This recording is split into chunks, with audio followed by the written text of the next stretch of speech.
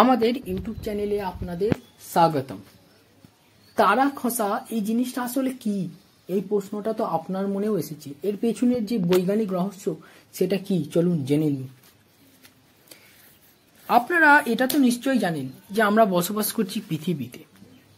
আবার এটাও জানেন যে আমাদের এই পৃথিবী প্রতিদিন সূর্যের চারিদিকে আবর্তন করছে। অর্থাৎ প্রতিদিন সূর্যের চারিদিকে আমাদের পৃথিবী ঘুরছে। এখন এই মহাকাশে রয়েছে আমাদের পৃথিবী, রয়েছে সূর্য, রয়েছে অনেক গ্রহ, উপগ্রহ, অসংখ্য তারা, গ্রহাণু, ধূমকেতু।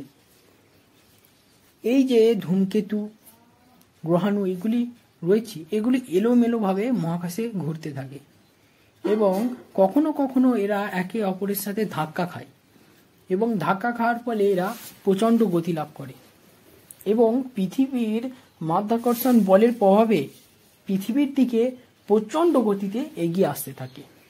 এরপর পৃথিবীতে যখন এরা প্রবেশ করে, পৃথিবীর বায়ুমণ্ডলের সাথে এদের প্রচণ্ড ঘর্ষণ হয় এবং ঘর্ষণ হওয়ার ফলে পৃথিবীর বায়ুমণ্ডলেই এই ছোট ছোট উল্কাপিণ্ডগুলি জ্বলে ওঠে এবং তখন আমরা মনে করি এটা আসলে তারা খসা আসলে এটা উল্কাপাত।